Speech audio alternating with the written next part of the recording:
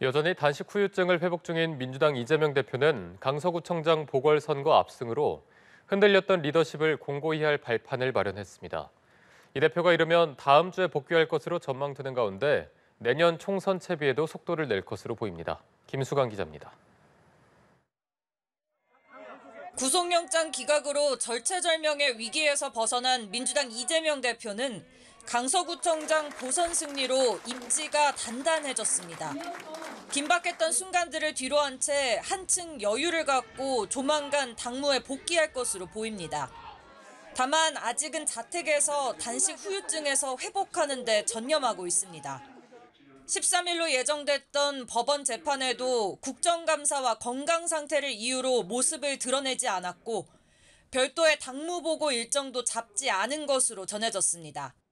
한 친명계 의원은 좀 많이 힘들어한다면서 서두르지 않고 충분히 기력을 회복할 시간을 가질 것이라고 말했습니다.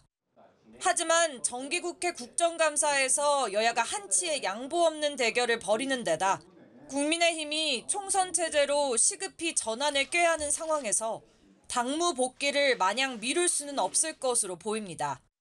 이르면 다음 주 복귀에 산적한 과제를 정리해 나갈 것이란 관측이 나오는 이유입니다.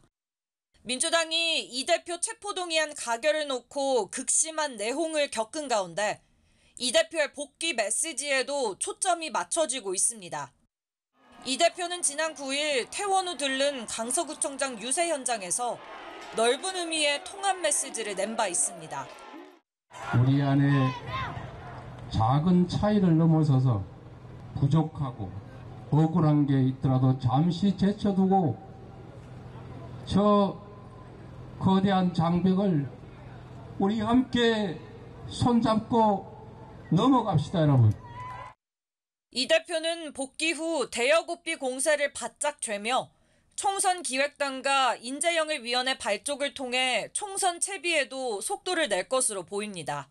연합뉴스TV 김수강입니다.